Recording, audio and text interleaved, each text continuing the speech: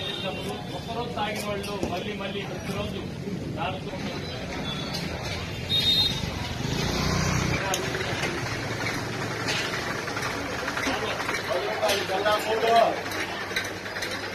ఎన్ని వచ్చేస్తామన్నా ఎన్ని వచ్చేస్తామన్నా అవలేదన్నా ఒక బట్టలు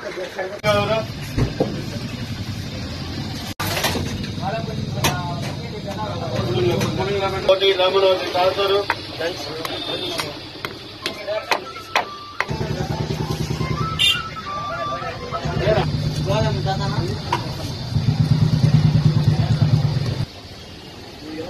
ఇది పార్సల్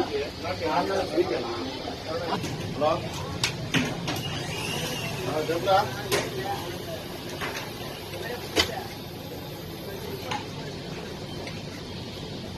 హలో ఎవరన్నా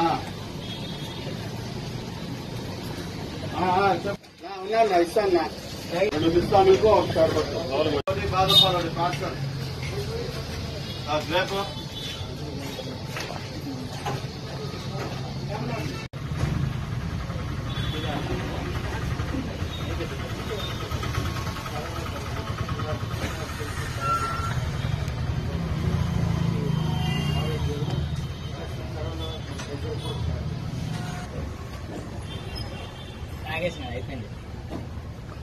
బిట్టి చాలు. చెప్పండి.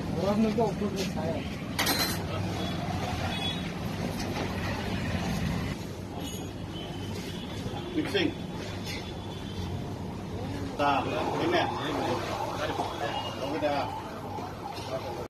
కరోనా కషాయము ప్రతిరోజు ఈ కరోనా కాలంలో ప్రతి ఒక్కరు తాగినట్లయితే ప్రతి ఒక్కరికి ఈ కరోనా వస్తుంది.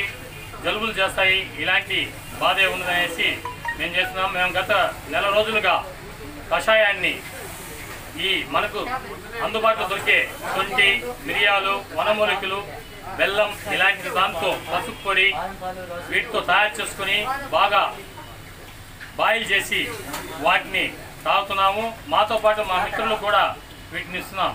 ఇది తాగడం వల్ల ప్రస్తుతం వస్తున్న అప్పుడప్పుడు వర్షాలు ఎండలు రకరకాల వాతావరణంలో మనకు ఎటువంటి జలుబు కానీ ఇలాంటి వైరస్ కానీ మన దరిదాపులకు చేరకుండా ఆరోగ్యంగా ఉండగలమనేసి అదేవిధంగా ప్రతి ఒక్కరికి దీనివల్ల రోగ రోగ నిరోధక శక్తి దీని ద్వారా మనకు చేరుతుంది.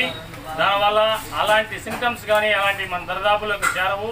ఇవి ప్రతి ఒక్కరూ ఇవన్నీ తక్కువ ధరలకే మనకు దొరికేటివి. వీటిని గాన ఇళ్ళ వద్ద ప్రతి ఒక్కరు కషాయం కానీ కాసుకొని మన ఇంటిల్లిపాదికి పిల్లలతో పాటు ఇచ్చినట్లయితే ఇలాంటివి దీని గురించి ఆలోచించాల్సిన అవసరమే లేదు. ఆరోగ్యంగా జీవించగలరనేసి మేము కోరుతున్నాం. కాలానుగుణంగా మనకు సంవత్సరంలో మూడు కాలాలు ఆ ఋతువులు ఉన్నాయి. ఈ కొత్త ఋతువులు ప్రారంభమైనప్పుడు ప్రతి సందర్భంలో కూడా అనేక రకాల సూక్ష్మక్రిములు ఉద్భవించి మనకు పీల్చే గాలి ద్వారా తాగే నీటి ద్వారా స్వీకరించే ఆహారం ద్వారా లోనికి ప్రవేశించి వాటి యొక్క చెడు లక్షణాలను అవి చూపిస్తుంటాయి. అట్లాంటప్పుడే అనారోగ్యాలు సంభవిస్తాయి. ఇలాంటి సందర్భంలో వాటి మీద పోరాటం చేయడానికి యాంటీబాడీస్ అని పెంచుకోవాలి. యాంటీబాడీస్ అంటే మనలో ఉన్న కణశక్తికి పోరాటం చేసే శక్తి వస్తుంది. దాన్ని పెంపొందించుకోవాలి యాంటీబాడీస్. అదే సందర్భంలో ఇప్పుడు ప్రస్తుతం ప్రపంచం మొత్తాన్ని గడగడలాడుస్తుంది కరోనా వైరస్. ఈ వైరస్ లోపలికి వెళ్ళి ఏ స్థానంలో ఏం చేస్తుందో ఎవరికి తెలియదు. అట్లాంటప్పుడు యాంటీవైరల్గా మనము మన సాంప్రదాయబద్ధమైన భారతీయ ఆహార పదార్థముల ద్వారా ఆ యాంటీవైరల్ లోపల పంపించారు. పంపించినప్పుడు అది లోపలికి చేరుకొని ఈ సూక్ష్మక్రిముల మీద పోరాటం చేసి దాన్ని సంహరిస్తాయి. తద్వారా మనకు రోగ పెరుగుతుంది. ఈ రీతిలో దీనికంటూ ఒక పద్ధతి ప్రకారము రామచంద్ర జ్యూస్ సెంటర్ వారు ఒక కషాయాన్ని తయారు చేసి మిత్రులకి శ్రేయోభిలాసులకి ఇస్తున్నారు. నిత్యం ప్రతినిత్యం వచ్చి దాన్ని సేవిస్తున్న వారు ఉత్సాహాన్ని ఉత్తేజాన్ని పొందుతున్నారు. దీనికి కావలసిన మిశ్రమంలో సొంటి బెల్లము మిరియపొడి ఇదే కాకుండా పదహారు రకాల దినుసులు ఆరు పాయింట్ ఆరు శాతం ద్వారా వంద శాతం మిశ్రమం చేస్తున్న అవసరం ఉంది. దాంతో బాగా నీరు బాగా వేడి చేసి బాగా సరైన ఉష్ణోగ్రత వచ్చినప్పుడు ఇవన్నీ మిశ్రమం చేస్తే చక్కటి ఒక కషాయం తయారవుతుంది. ఈ కషాయం స్వీకరించి మనం మనలో ఉన్న ఏదైతే విషతుల్యమైన ఈ సూక్ష్మక్రిములు కలిగిస్తున్న విషతుల్య పదార్థాలను దీన్ని సేవించడం ద్వారా అవన్నీ విసర్జితమైపోతుంది.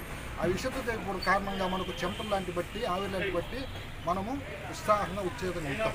కనుక ఇది చక్కటి ప్రయత్నం. రెండోది ఏంటంటే చౌకైన ధరలతో మనకు బాగా అందుబాటులో వస్తువులతో ఇవన్నీ లభిస్తున్నాయి. కాబట్టి రామచంద్ర వారు చేస్తున్న ఈ ప్రయత్నము